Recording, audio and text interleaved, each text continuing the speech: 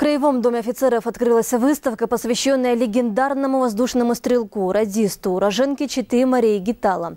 В 17 лет она добровольцем ушла на фронт. Десятки вылетов на бомбардировке позиций живой силы и техники фашистов совершила Мария Гитала в кровавых битвах под Сталинградом и Курской дуге. Подробнее Елена Гармашапова. Старинные фотографии, статьи в газетах, медали и личный костюм Марии Гитала. Все эти предметы хранят воспоминания о самом близком человеке, о маме Ирины Щаповой.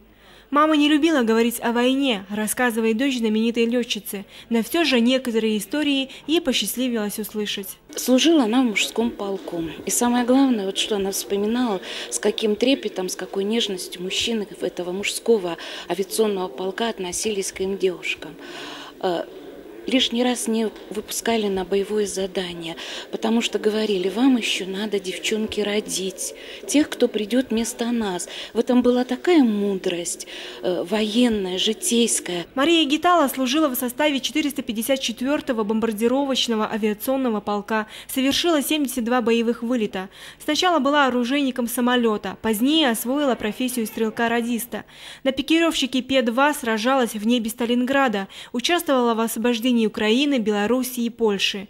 На Курской дуге Мария Георгиевна получила первое ранение. После лечения догнала свой полк. Второй раз ее тяжело ранили на Зиеловских высотах. Маме ампутировали ногу, и протез сделать было невозможно, и поэтому до конца войны, до конца своей жизни, простите, 58 лет она проходила на костылях. Это мужество для женщин, конечно, мужество. Родить двух детей и до последнего почти дня работать, это нужно иметь мужество. До войны Мария Гитала познакомилась с военным, он тогда служил в Даурии. Борис Гитала, тот самый лейтенант, пограничник, будущий муж Марии, писал ей письма на фронт.